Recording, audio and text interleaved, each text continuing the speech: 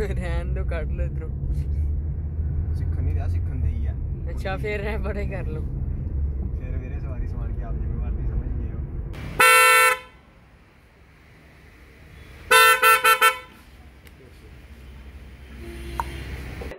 ਤੇ ਹੋਰਨ ਦੀ ਪਰਿਵਾਰ ਚੈੱਕ ਕਰ ਲਓ। ਪਹਿਲੇ ਹੋਰਨ ਜਿਹੜੇ ਸੀ ਰਘੂ ਕਿਦਾਂ ਦੇ ਸੀ ਪਹਿਲੇ? ਉਹ ਐਕਟਿਵ ਵਾਲਿਆ ਐਕਟਿਵ ਵਾਲੇ ਹਰਨ ਦੀ ਗੱਲ ਹੀ ਨਹੀਂ ਦਿੰਦਾ ਗੱਡੀ ਚਲਾਈ ਪਹਿਲੇ ਦੇ ਤੇ ਅੱਜ ਆਇਆ ਦਾ ਰਘੂ ਤੇ ਗੱਡੀ ਹੋਰਨ ਦੀ ਸਟਾਰਟ ਚੱਲੀ ਵੀਰ ਜੀ ਵੀਰ ਜੀ ਕਿਸੇ ਨੂੰ ਡਰਾਉਂਦੇ ਰਹਿੰਦੇ ਨੇ ਹੋਰਨ ਚੇਂਜ ਹੋਣੇ ਤੇ ਅੱਜ ਤੁਹਾਨੂੰ ਦਿਖਾਣੇ ਸਾਰਾ ਪ੍ਰੋਸੈਸ ਕਿੱਦਾਂ ਚੇਂਜ ਹੁੰਦੇ ਕਿਉਂਕਿ ਆਪ ਤੇ ਅਸੀਂ ਘਰ ਕਰ ਹੀ ਲੈਂਦੇ ਆ ਬਟ ਹੁਣ ਇਹਨੇ ਲਵਾਣੇ ਨਵੇਂ ਤੇ ਵਿਦ ਵਾਰੰਟੀ ਆਈ ਥਿੰਕ 1200 ਦੇ ਅਰਾਊਂਡ ਦੱਸਿਆ ਸੀ। 1200 ਦੱਸਿਆ ਨਾ ਇਹਨਾਂ ਨੇ? ਫਿਟਿੰਗ ਦਾ ਵੱਖਰਾ ਪਤਾ ਨਹੀਂ ਵਿੱਚ ਉਹ ਪੁੱਛ ਲੈਣੇ ਜਾ ਉਹ ਤੇ ਚੱਲ ਉਹਨੂੰ ਦੀਪੂ ਨੂੰ ਫੋਨ ਕਰਕੇ ਕਰਾ ਲਾਂਗੇ ਵਿੱਚ। ਆਪਣਾ ਯਾਰ ਦੋਸਤ ਦੀ ਖਾਸ ਦੁਕਾਨ ਹੈ। ਤੇ ਬਟ ਉਹ ਅੱਜ ਉੱਥੇ ਹੈ ਨਹੀਂ ਹੈ। ਯਾਰ ਅਸੀਂ ਖੰਡੇ ਗੱਡੀ ਰਹਿਣ ਦੋ ਕੱਢ ਲਓ ਇਧਰੋਂ। ਨਹੀਂ ਰਿਹਾ ਸਿੱਖਣ ਦੇ ਹੀ ਆ। ਅੱਛਾ ਫਿਰ ਰਹਿ ਬੜੇ ਕਰ ਲਓ। ਫਿਰ ਵੀਰੇ ਸਵਾਰੀ ਸਵਾਰ ਕੇ ਆਪ ਜ਼ਿੰਮੇਵਾਰ ਦੀ ਸਮਝ ਗਏ ਹੋ ਕਿਉਂ ਮੈਂ ਇੱਥੋਂ ਆ ਗਿਆ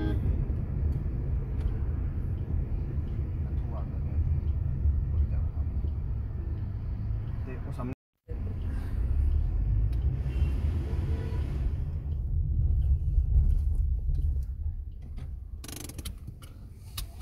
ਸਵਿਫਟ ਟੌਪ ਮਾਡਲ ਹੈ ਨਾ?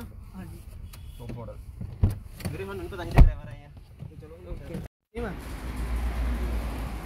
ਸ਼ੁਕਰ ਹੈ। ਭਾਈ। ਮੇਰੀ ਵਾਇਰ ਕਟਿੰਗ ਅੰਦਰ ਹੀ ਗਿਰ ਪਈ ਪੋ ਪੋ। ਵੈਸੇ ਹਾਂ।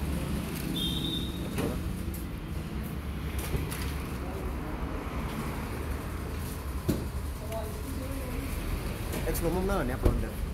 ਕਾਦਾ ਆਗਾ ਕਿਹੜਾ ਦਿਖਾਣੇ ਅੱਗੇ ਪ੍ਰੋਸੈਸ ਹੁੰਦਾ ਕੀ ਹੋਣ ਲੱਗਾ ਜੀ ਬੰਪਰ ਖੁੱਲਣਾ ਤੇ ਅੰਦਰ ਆਪਾਂ ਸਲੋਮੋ ਬਣਾਉਣੇ ਨਾਟ ਨੂਟ ਜਿਹੜੇ ਖੁੱਲਨੇ ਖੁੱਲ ਕੇ ਤੇ ਫਿਰ ਬਸ ਫਿਟਿੰਗ ਹੋਣੀ ਹੈ ਸਿੱਧਾ।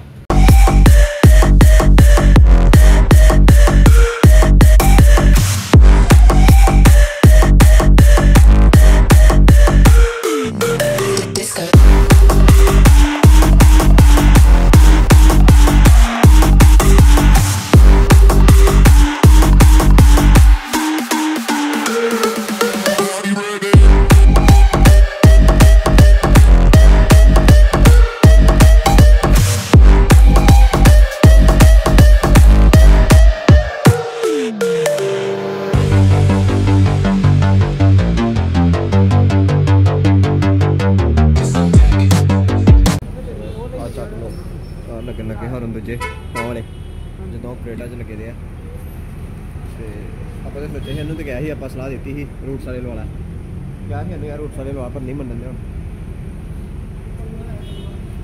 ਤੇ ਮਰਜ਼ੀ ਹੋ ਅਗਲੇ ਦੀ ਠੀਕ ਹੈ ਨਾ ਸਾਡੀ ਗੱਡੀ ਹੁੰਦੀ ਤੇ ਆਪਾਂ ਰੂਟਸ ਵਾਲੇ ਲਵਾਣੇ ਉਹ ਵੀ ਚਾਰ ਚਾਰ ਚਾਰ ਦੇ ਵੀ ਛੇ ਲਵਾ ਦੇਣੇ ਦੇਖੋ ਆਪਣੇ को चाहिए लाउड अगला बंदे के डैश में डैश हो जाए ਓਕੇ मतलब कान में दर्द हो जाए गंदी सोच नहीं रखने का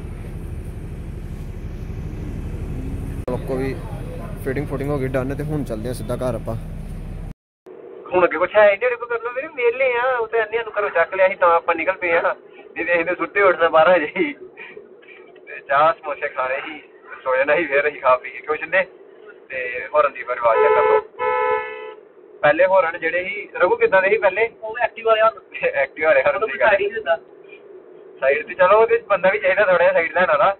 ਤਾਂ ਵੀ ਥੋੜਾ ਬਹੁਤ ਸੋਚਦਾ ਹਾਂ ਰੱਜੇ ਤੋਂ ਬਿਲਕੁਲ ਐਕਟਿਵ ਜਿਹੜਾ ਵਾਲੇ ਵਾ ਤੇ ਵਿਚਾਰੇ ਆਉਣਗੇ ਜਿੱਦਾਂ ਸਾਨੂੰ ਪਾਣੀ ਪਏ ਹੁਣ ਮਰੇ ਤੇ ਕੱਲ ਮਰੇ ਇੱਕ ਹਿਸਾਬ ਜੀ।